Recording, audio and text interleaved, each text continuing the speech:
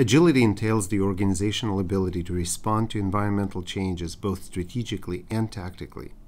Strategic agility, which is the sole province and responsibility of senior leaders, entails overarching adjustments to strategy that best position an organization to succeed in a changed environment.